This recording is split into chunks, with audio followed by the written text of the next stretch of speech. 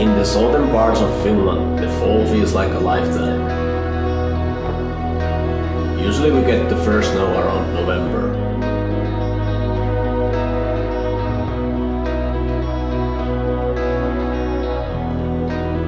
But as most of you might remember, last winter was the warmest in recent memory.